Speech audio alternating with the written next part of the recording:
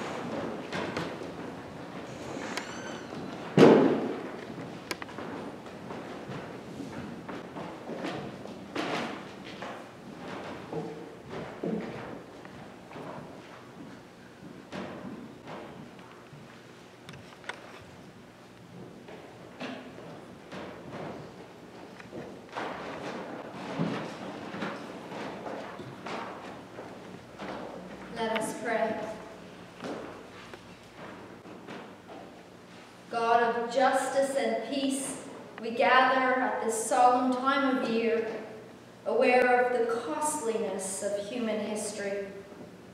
In the face of hostility between nations and neighbors, you have come to us in Jesus Christ, carrying no sword, calling us to serve as peacemakers. In this time of worship, renew in us the hope that you will turn swords into plowshares and lead the world you love away from the study of war to the promise of peace with justice for all your peoples. God of justice and mercy, we confess that the world around us is in a mess. Countries turn disputes over territory into threats of terror. Old enemies stir up conflict within their tribes and nations. Threats of violence keep us all on edge. We confess we have not learned from past conflicts, which leads to peace with justice among nations and neighbors. Forgive us and lead us in a better way. In your Son, our Savior, we pray. Amen. Jesus said, Peace I leave with you, my peace I give unto you. Not that this world gives, do I give to you. Through God's mercy, our sin is forgiven. May the peace of the Lord Jesus Christ be with you all. Our first hymn this morning is hymn number 64, Be Still and Know That I Am God.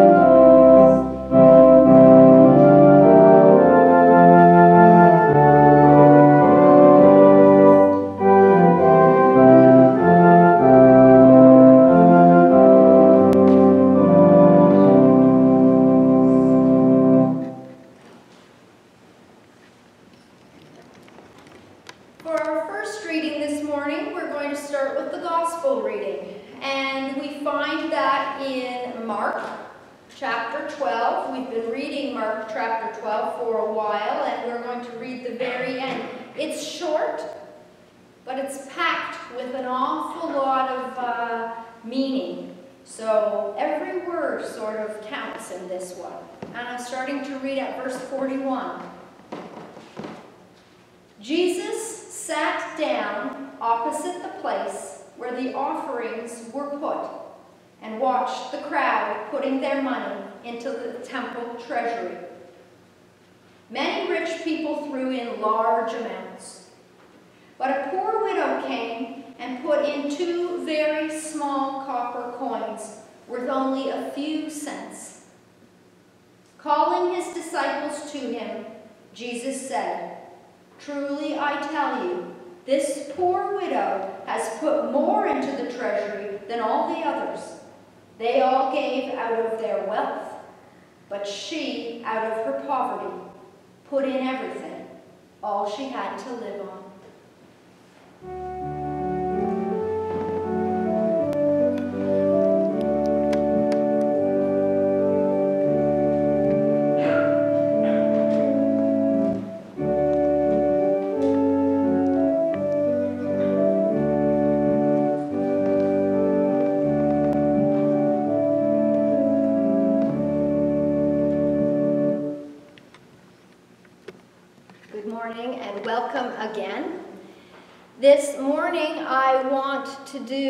Uh, something that is called an object lesson. And that's a lesson that you learn uh, that doesn't have a lot of talking or explaining or history. It just has you watching, listening, engaging your senses, and learning something from what you see rather than what you hear. So I've called this object lesson, What Jesus Noticed.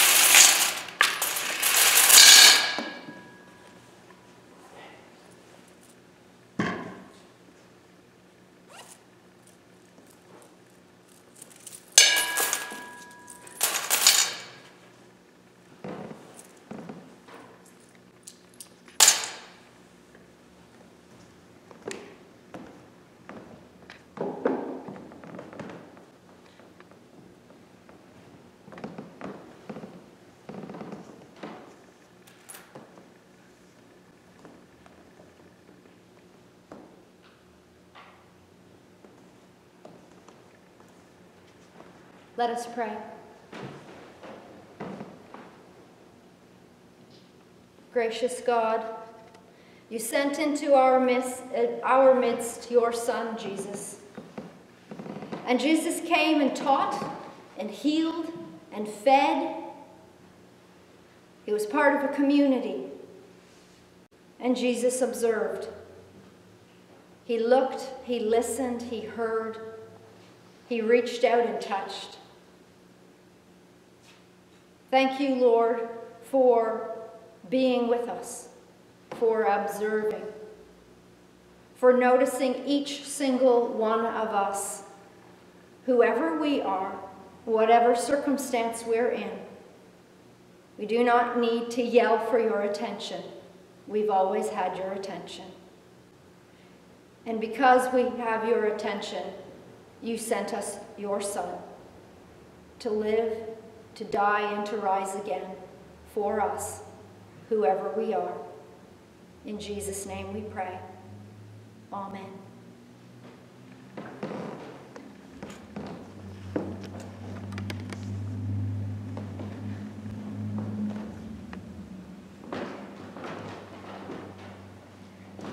Our second reading this morning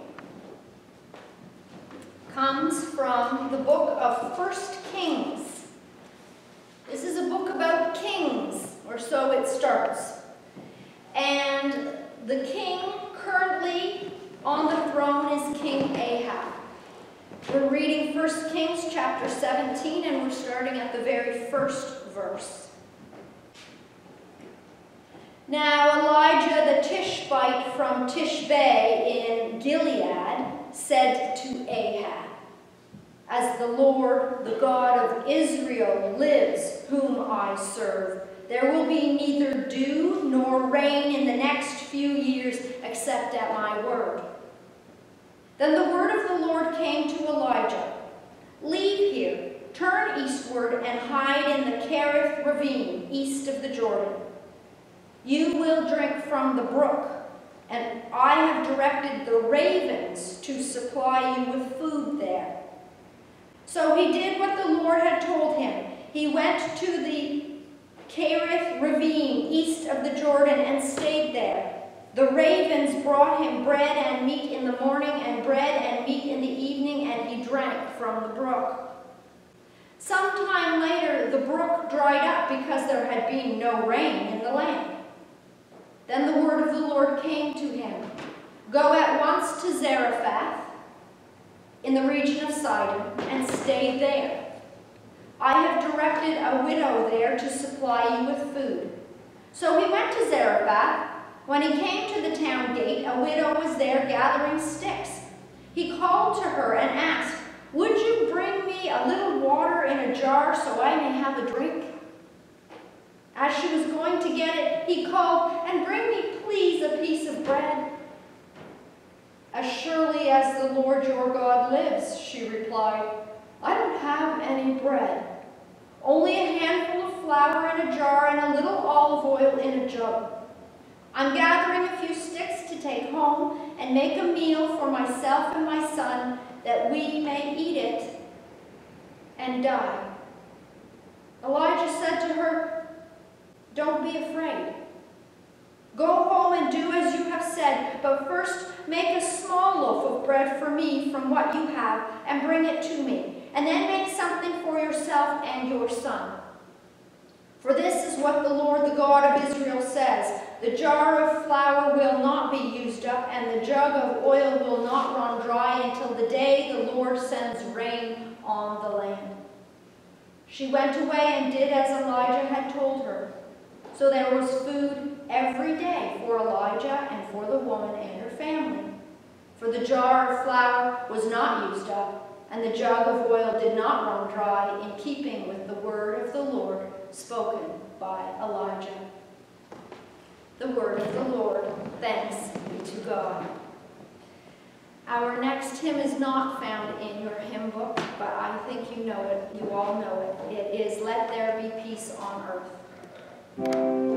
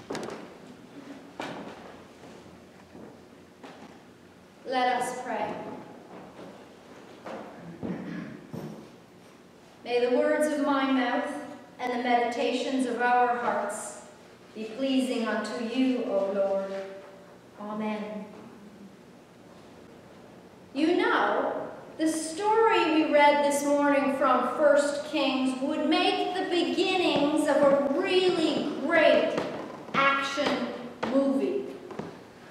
The Bible is actually full of great action movies. Of course, the leading role would need to go to Elijah, the Tishbite from Tishbe. He would need to be a strong, brave, confident male presence on the screen, I tried to think who would be best cast in that role. A man who could command attention and earn respect.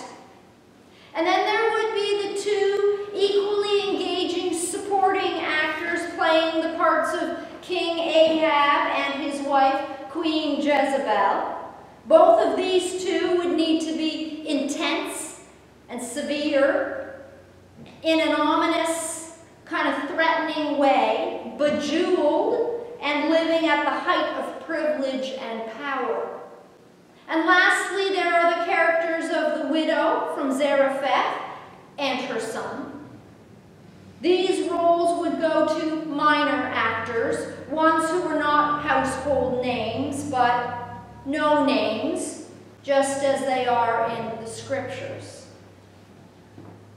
Now, King Ahab has taken his place in a long list of kings. Kings of Judah and kings of Israel. The kings' names, as well as their achievements and their legacies, have been recorded in stone script and on papyrus books. Centuries later, guys like this would get their portraits painted and hung in the grand halls of some behemoth castles. The Bible also lists them by name.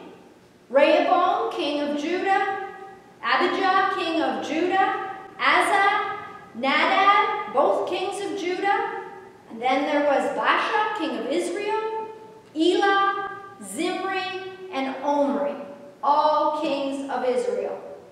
And King Omri, it is written in the Bible, about him it was written, but Omri did evil in the eyes of the Lord and sinned more than all those before him. Omri was Ahab's father. Ahab was riding an incredible wave of privilege. Whole cities were being rebuilt with temples and ornate gates, 10 foot high marble statues, infrastructure in roadways and fortifications, all going in and rising up on the backs of no names. Then Ahab really clinched his position as a powerhouse in history by marrying Queen Jezebel, therefore successfully uniting two kingdoms and just so that his new bride would feel completely and absolutely comfortable and welcome in Israel, King Ahab set up her god, that would be Baal, god of rain, god of fertility, god of life, throughout the land. Anybody got a problem with that? Well, you better not say anything because you won't last long. Oh, but please do not despair, because this is a story about the interruption of the royal narrative. Quite shockingly, Elijah strides between those soaring pillars and presents himself in the grand hall before the royal throne, standing on the shiny marble floors polished by no names. And he says, as the Lord, the lives, whom I serve, there will be neither dew nor rain for the next few years except at my word. You know, a person could get killed on the spot for showing up in front of the king without an invitation. Walter Brueggemann wrote that the Bible lives in a world of water scarcity. And you know, it's really quite hard for us today to imagine a world devastated by drought, especially when we live a few blocks away from a massive waterfall with shunt, which shunts tons of water over it, its edge 24-7. If we had a drought, the rock edge of the falls would be exposed. The canals would be dried up. The Niagara River, a mere trickle. Our ponds and our pools would blister and peel in the midday sun. Our faucets, whether they are old-fashioned or tap technology, would yield not a drop. How long would it take before real panic set in? Forget about hoarding toilet paper. What if it was water at stake? In those days, the king was believed to be responsible for the rain. Just like today, our elected politicians are considered to be responsible for the economy, and of course, among all the other gods, statues, and temples and altars crowding out their view, King Ahab had just called for a full embrace of Jezebel's god, named Baal, god of rain, god of fertility, God of life. Because we today are sort of unfamiliar with droughts and kings, we may not realize what a huge threat a drought was to the relevance of a king. What was he good for if he couldn't keep the people alive and functioning? A king in a time of drought becomes impotent and redundant, reduced to the value of a no name, no matter how many times he tells you something different. People would be saying, it's time to be getting a new king. God, through Elijah, said something very, very different. Elijah is told by God to remove himself from this society of lavish, self-serving indulgence. He's told to stop eating their junk food and instead to go to Sidon in the east, which is Jezebel's home territory, by the way. Quite dangerous. He's instructed to drink from a brook and eat only what ravens bring him. Isn't it interesting that Elijah is fed not by one of God's spectacular birds, like an eagle or a falcon or even a trumpeter swan, but by such common, nondescript birds like ravens. A famine affects everyone. Sometime later, the, book, the brook dried up because there had been no rain in the land. Then the word of the Lord came to Elijah again. Go at once to Zarephath and stay there. A famine affects everyone, just like a pandemic. But it doesn't affect everyone equally. We are not really in the same boat at all. God sent that bold, brave prophet who marched before the king unannounced and declared that he served the Lord, the God of Israel. He sent that man to be fed deep now into a famine by a widow with a son.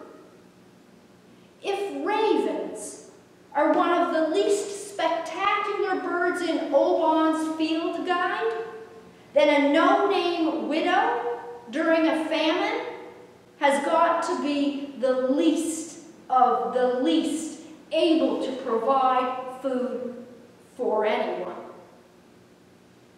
We need to ask ourselves, which was actually more daunting for Elijah? Standing on that marble floor waiting for the sword to come down? or lying on the widow's dirt floor waiting to succumb to starvation.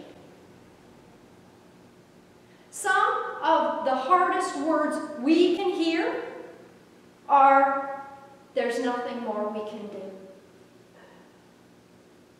When a forest fire is raging out of control, and there aren't enough bush planes to carry water into a remote, tinder dry location, and the fire marshal says, there's nothing more we can do but pray for rain. When the medics pull back from a person we love and say, there's nothing more we can do, pray for a miracle. Hopelessness is banging at the door of our hearts. Hopelessness is one of the best tools the devil has in his toolbox. And on the threshold of hopelessness is the place we meet the unnamed widow, gathering sticks to prepare the Last Supper for herself and her child. This is what the king has done. This is what the height of power and privilege has brought to bear on God's beloved. This story is a cautionary tale for all who hear it. And after meeting the widow, just as God said he would, and hearing her story, Elijah says to her, Don't be afraid. But by all human standards, there seems to be nothing left but to be afraid. She has no more resources at her disposal, and she actually accepts her fate that this is the way the world works. And the Bible says no. And Elijah declares it by saying, No, not like this.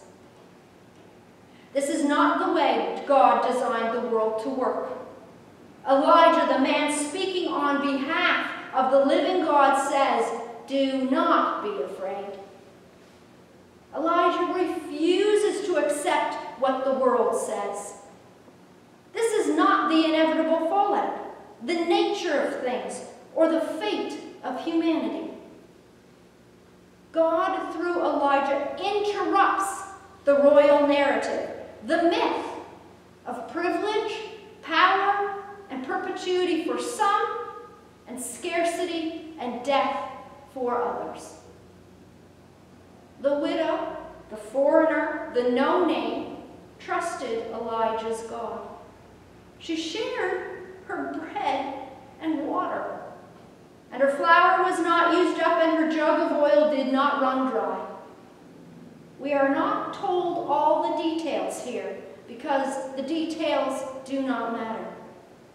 God gives abundant gifts that will not run out and will not dry up for eternity. If that doesn't amaze us, I don't know what will.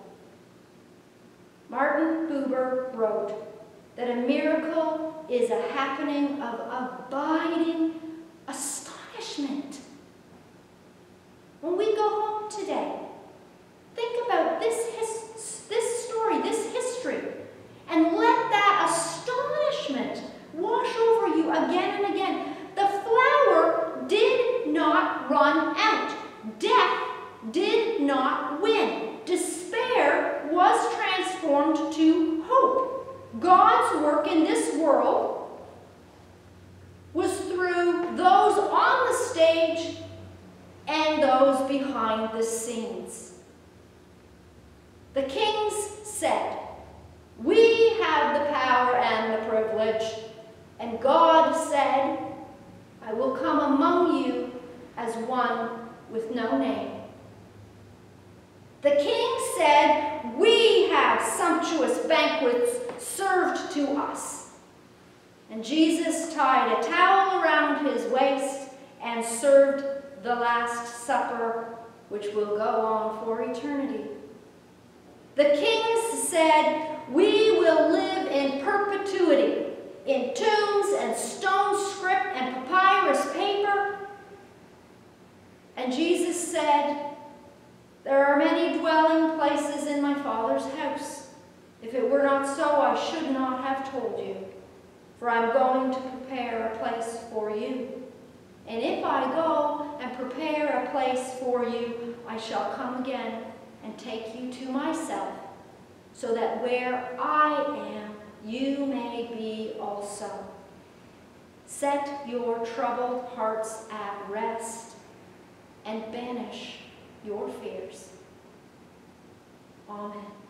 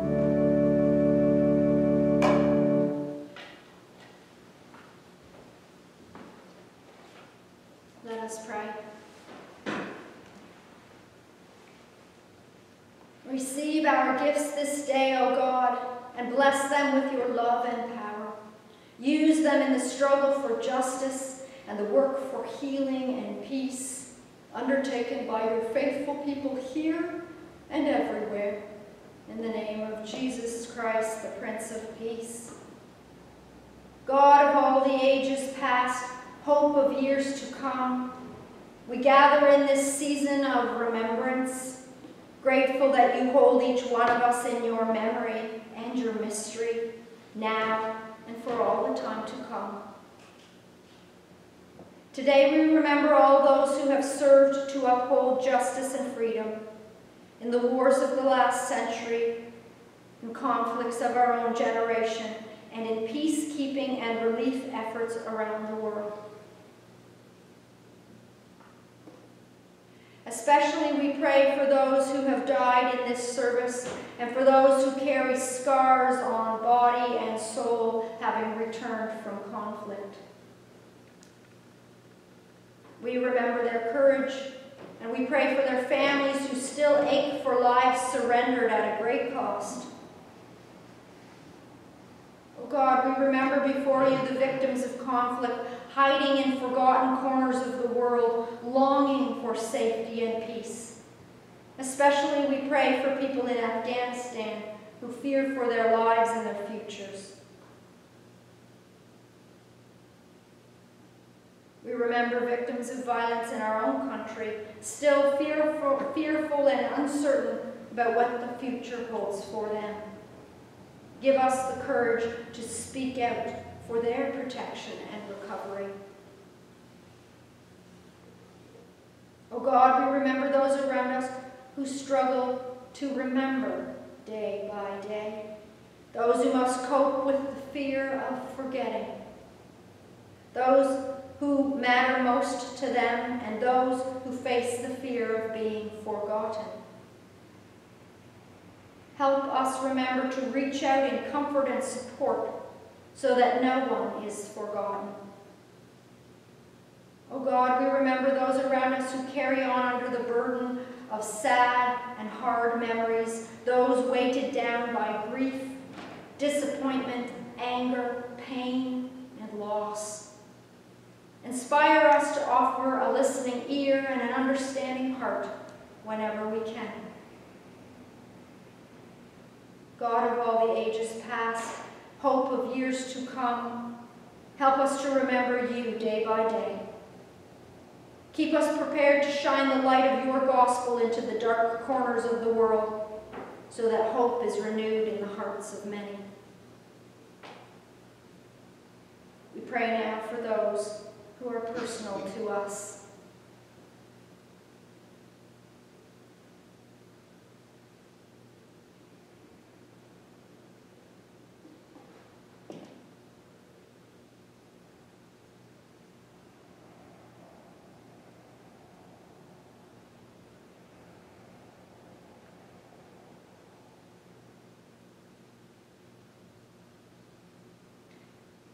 As we prepare to leave this service, walk with us and show us how to live each day as those who follow Jesus. For we dare to pray the words he taught us, saying, Our Father, who art in heaven, hallowed be thy name. Thy kingdom come, thy will be done on earth as it is in heaven. Give us this day our daily bread, and forgive us our debts as we forgive our debtors Lead us not into temptation, but deliver us from evil. For thine is the kingdom,